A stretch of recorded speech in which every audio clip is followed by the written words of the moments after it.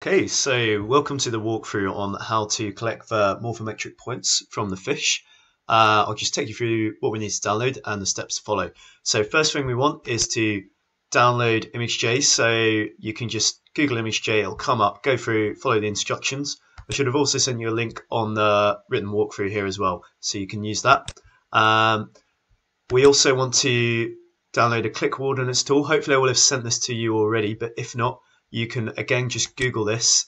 Um, or this little text file will come up here. Just copy all of that and save it into a notepad, and that'll do the job. Okay, so once you've got ImageJ installed, you can open it up. Um, search it there, there we are. And the toolbar should come up for us. Um, there we are. Okay, so yep, we want to add that click coordinates call is the next step. So we can go on plugins, macros and install and go to wherever you had it saved. Just double click and you can see it's added this little icon here for us. Next thing we want to do is just change a couple of settings on that. So basically just make sure all these boxes are ticked and it'll be doing the job we want. Okay so next we can open up um, our first image. So if we go on file open and find whatever image you want to analyze where you have it saved. So we can start with this one here and your image will come up so we might need to rotate the image as well. So if you go on image, transform, and this one just 90 degrees left will do the job. There you go. And you want to get the fish as big as you can on your screen so you can see all the details. Um, so you can just zoom in how you would on anything else with your mouse. Um, and you can use this grabby tool here to move it around. Um, I think this image had a little play earlier and that's pretty much the best zoom we're going to get because it's a bit too long once I zoom in the first time. Um, Okay, so one last thing as well that really helps is if you turn up the brightness on your screen uh, all the way or as comfortable as you find it, and that really brings out some of the points we need to see on the fish.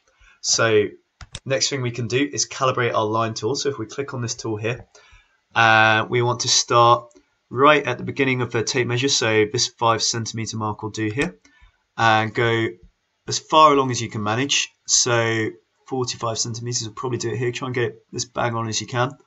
Um, and then we want to go on to analyze set scale. And what we're going to do is put in that known distance here. So that's 45 centimeters minus 5, so 40, and centimeters as a unit here. And we can click OK. Make sure some of the tape measures have inches and centimeters on them, so make sure you get centimeters as well. Um, okay, so we can now take our first length. So that length is going to be right from the very tip of the top lip of the fish here all the way along to where this rear fin, the caudal fin, joins the body. It's, it can be a bit subjective, like you can see on this fish here. We'll take our best estimate, and you'll see when I draw that line, the length should come up about here on the toolbar. So let's go for that. Um, and yet, right in the middle for the standard length this is, and you can see up there that length 33.8 has come up on the toolbar. If you move the mouse, it does disappear. Um, but if we just remember that, and go over to our Excel to write it in. Um, you also want to make sure you've got your fish ID put in place there. So um, that's the name of uh, fish here. I've got the image saved as that. Um, so make sure you get this one in right. Right, and we can take our next length now. So we can just grab the end here and go all the way to the end of a caudal fin. Um, oh, I'll need the toolbar up again. I'll just draw that line again. Click off. And there we go. All the way to the end. If it's a fork tail, just go to the bottom of the fork and you can see we've got a length there, 39.16 has come up. So again, I can put that in the Excel, 39.16. Okay, so we've got the two lengths we want. Next thing we can do start collecting the landmark coordinates. So we're going to click on the click coordinates tool here and I'll take you through each of the 15 points we want. They're also saved in here on the walkthrough um, at the bottom here. So if you need that, you can check that out. So first one we want is going to be in the same place um, at the start of that top lip.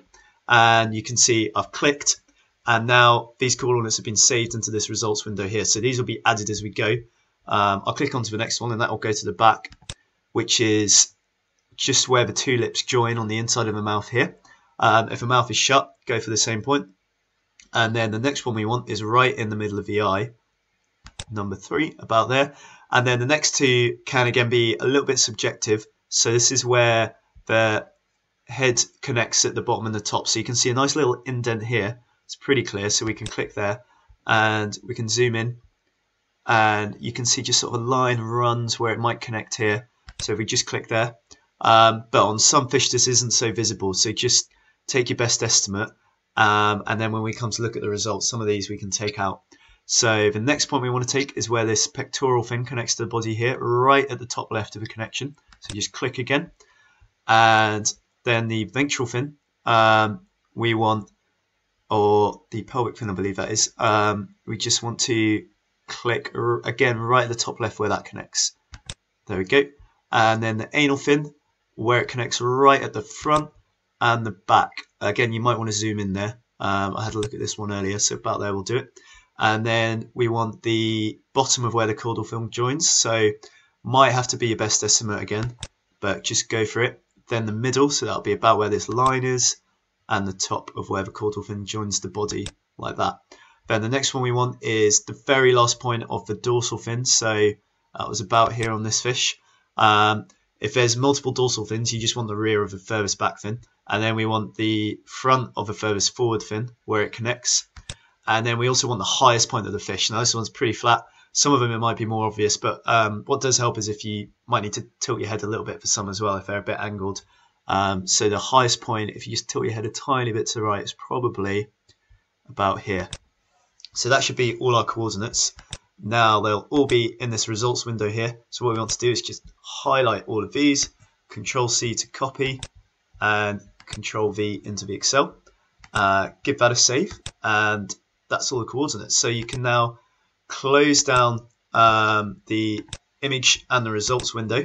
No need to save it's in the Excel. It should all be good. Um, and then you can open up your next image and start on that one.